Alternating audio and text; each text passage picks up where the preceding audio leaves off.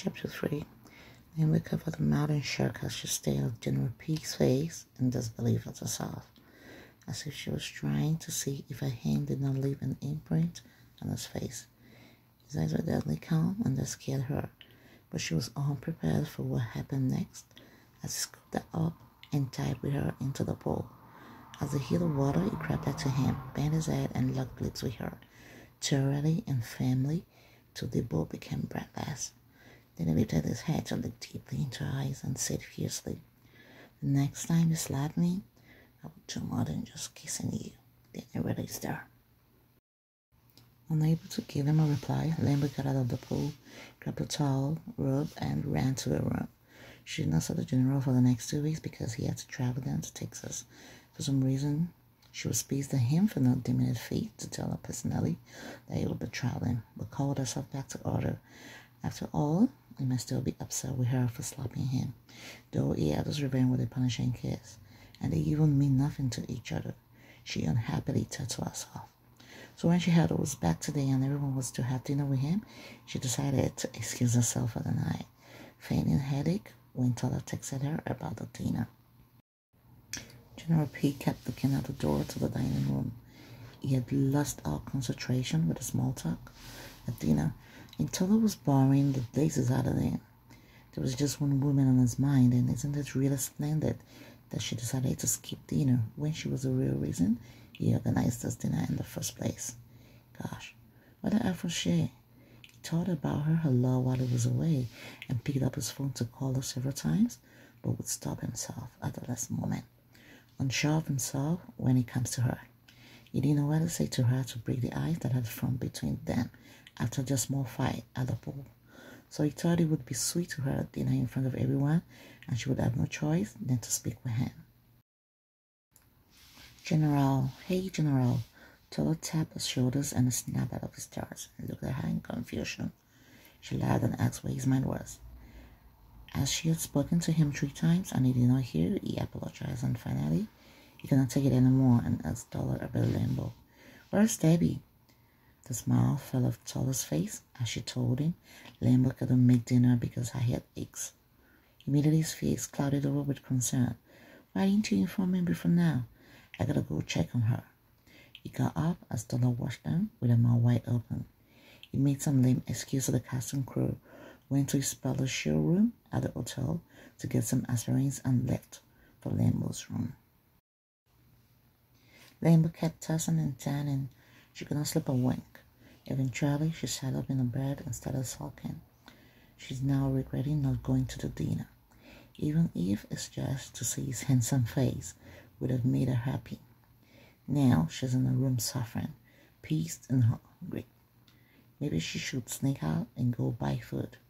She got out of her bed, still in her jeans cutoffs and a white shirt, when she heard a knock at the door. She stilled.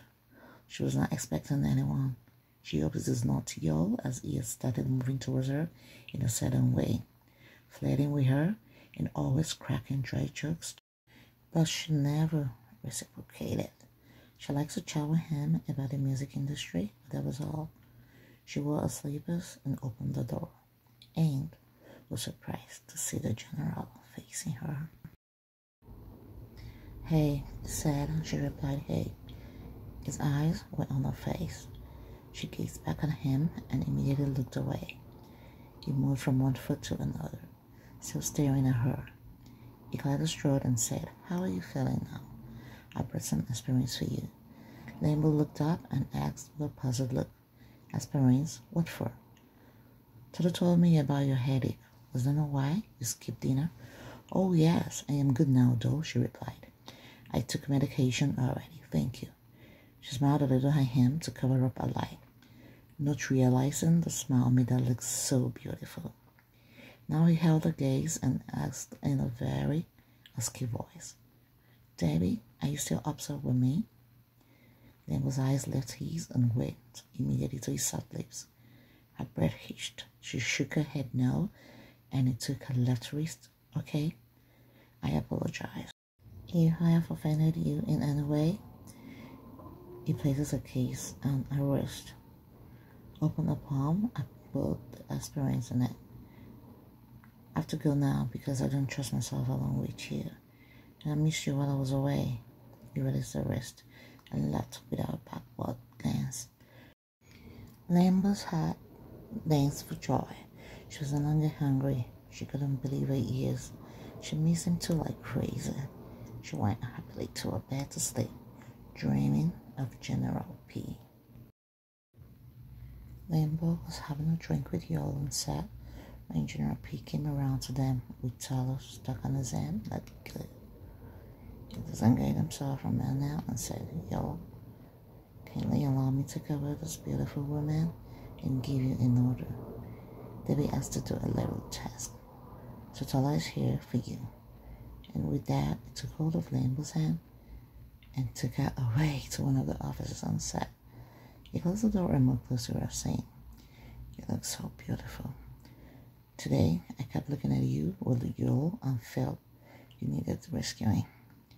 They were standing so close together, and the tension between them stirred up so quickly that Lambo's insides was sizzling as he, too, started breathing so fast. With a trembling voice, she asked, So what is this task that I have to do for you? What? What task? He asked in confusion. Then remembered the silly excuse and said, Yes, I need to show you how to stand by the window for your lesson. Now they were both breathless. Her shoulder to turn into the window, and Lambo melted. Like water, the engineer said, of effort and drew Lambo. It is time to lock with her. The breast became so wrapped and it transferred to her neck. When they heard the door open, and one of the linemen entered, saw them, and started apologizing profusely. No, it's just rehearsals. General told the man as he left. Lambo was about to run away when he caught her from behind and whispered in her ears that since it was the last few days of shooting, they were all going out that night to celebrate, and they would not tolerate any excuse of skipping the night out from her, as so wanted out there. Lambo nodded and still ran from his hand, hearing him laugh softly as she too was smiling. The night was a disaster for Lambo. She rode in the back with Tola and Yo. Tola pushed her to the back with Yo while she sat in front with the general touching his arm every now and then. Lambo was jealous but couldn't do anything about it. When he got to their dinner, everyone was there and they started eating, drinking and chatting. At their table, Lambo sat between General P and Yo and started feeling uncomfortable when Tyler started asking her questions about acting in the movie industry that she couldn't answer. Well, Was flirting and looking into her eyes. She looked away, straight into General P's direct glance and her heart started beating so fast as she remembered their kiss that afternoon. He kept staring at her, then started asking her about one of David's work that he had seen. Unfortunately, she didn't know the name of the people involved on the project, so she couldn't answer correctly to the extent that they were all shot. Then she called her sister Debbie to tell her to get ready to be on set by the weekend to shoot the last few scenes. She came up again. Not even for a minute. Davy was surprised because Lambo promised she would finish the last few scenes, but she couldn't again instead of getting ready herself. When Lambo came back, they were all ready to leave. They rode on General P's car again. When he got to the hotel, General came to her and asked Lambo, what exactly are you hiding from me? Why are you so secretive? Tell me. I will understand. Lambo shouted at him. Oh, please, leave me alone. As she got out key and unlocked the room door, he followed her inside and pulled her to him, crushing her soft lips with his. The keys to thoroughly until they both found it difficult to breathe. After some time, Lambo realized they were on the bed, then I leaped to the side and looked at into her eyes and said, You drive me crazy, girl. I don't know what to do about you. If I stay longer than this, I will not be held responsible for what will happen. Decided to get up, and Lambo grabbed his shirt. Don't leave, she commanded, and he obeyed. God reunited his arms again and started doing other things to her until they heard a very loud knock at the door. The goddamn book paced. Tyler was at the door to take General P away from important phone call. Looking daggers at Lambo with jealousy. They would another and told General P she would be going to San Diego and would be back by weekend to shoot the last remaining scenes. Lisa agreed and told her she has to be on set.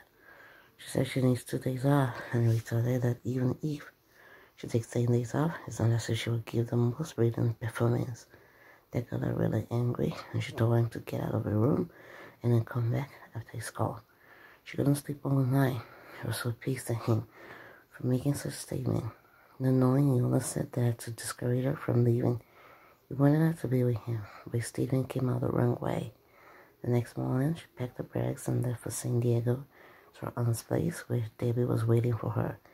Immediately, her sister saw her. She knew something was wrong with her, and before she knew it, Lambo was spilling everything that happened between her and General P. The following Monday, she was at a workshop in San Diego when her phone rang and she saw it was Debbie. She came out the rest of the call wondering why Debbie was calling her since they had spoken earlier that morning and she told her she was going to an housing workshop in Sweet Valley, San Diego. She was mildly dressed like a businesswoman and looking all beautiful. And as she stepped out, Marcel Lambo looked up right into the brown eyes of General Pere of J Pictures. A phone dropped from her hand from the shock of seeing him, a mere feet away from her. She opened her mouth to speak to him, but no words came out. He laughed with her humor and said, Good afternoon to you, the runaway fake actress, Mercy Evan Lambo. He put his phone to his ears and said to whoever was on the other side, You're gonna give Debbie her phone back. Lambo is with me now. Then he got out his phone, stepped closer to her and hauled her off her feet and over his shoulders and began to walk away.